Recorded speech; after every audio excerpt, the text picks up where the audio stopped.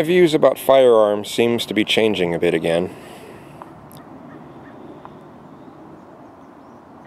I often was kind of going with what many of the right-wingers were saying about the Second Amendment.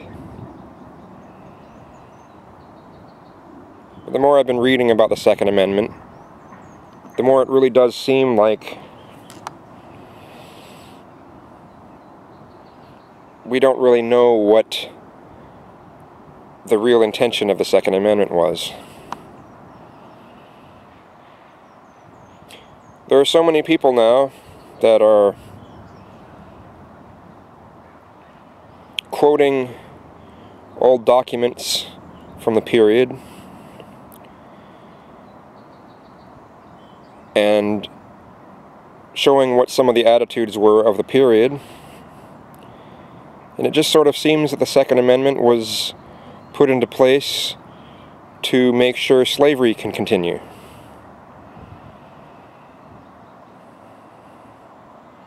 Now, there are many interpretations of the Second Amendment, but as more interpretations like that seem to come out with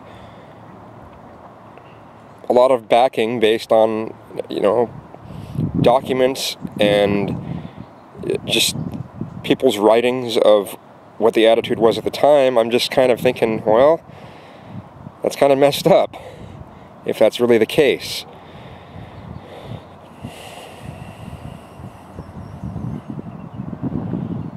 All right, I think I, at this point I'm just thinking, you know,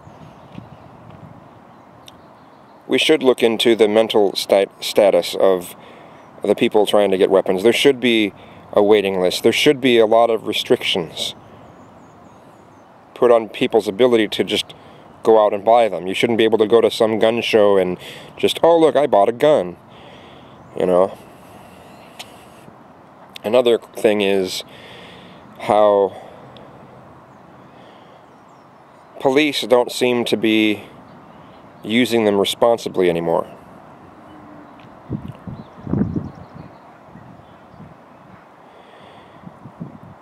There's this trend of people not wanting to take chances on anything. Everything's about playing it safe. You can see this all over the place in our culture.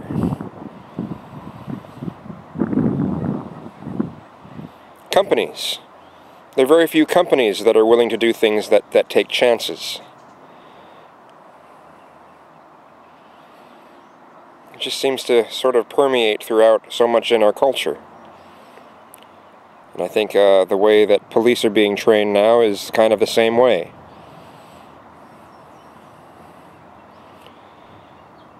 You know, people should expect that being a police officer is a dangerous job, but when we're allowing them to just shoot first and think later,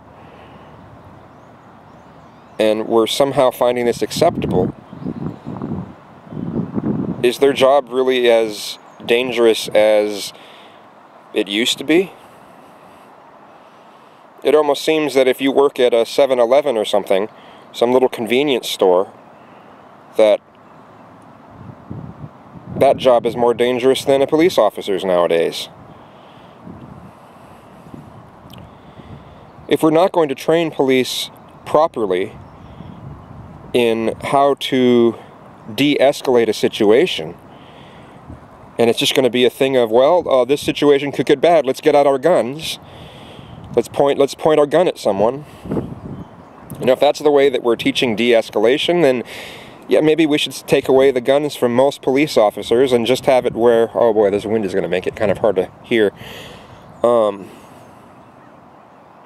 or maybe we should take away guns except for very, very specific police officers who are very well trained in uh, de-escalating things and the rest of the officers, you know, maybe shouldn't have uh, lethal weapons. The real answer is to train our police properly, but that doesn't seem like that's going to happen. So what do we have left? Um,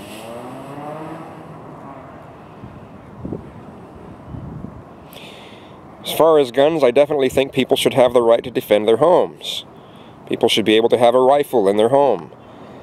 But I think for a lot of other things, I'm just starting to head towards the route of, you know, maybe we really need to start cutting back on them.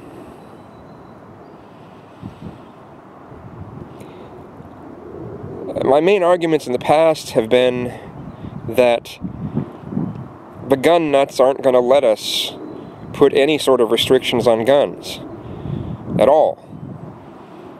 But if I'm going to go that route, I mean, should I go the route of, well, we sh well, you know, the fundamentalist Christians aren't going to let us uh, legalize gay marriage. The fundamentalist Christians aren't going to let us do this or that. So we should just give in to their, to their, uh, we should be at the mercy of them. And if, if we're, I just, you know, it just makes me question a lot of this stuff, you know?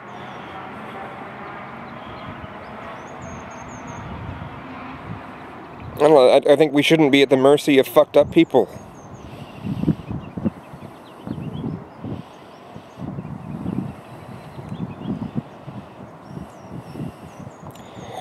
I don't know.